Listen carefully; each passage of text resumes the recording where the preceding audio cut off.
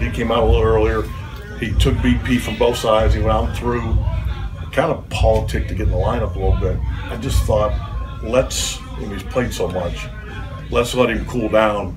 And if he still feels pretty good, you know, he's sitting over there on the bench, which, and then we'll play him tomorrow. So I'd say all in all, we dodged a pretty big bullet, and he's he's in a he's in a pretty good place.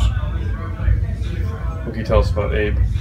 Abe yesterday on the ball into right left center. He cut it off and threw into second. He felt it. Then he had that swinging bunt.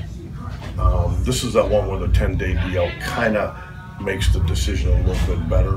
Um, it's it's not horrible, but you know, like I said, the 10 days sort of helps you a little bit. So that was the move to get Andrew on as opposed to doing a pitcher. Um, and we'll, you know, we'll give Abe you know some time with the trainers and stuff, and then hopefully, you know, right before he's ready to come off, maybe we can get him a game or two if he's if he's ready.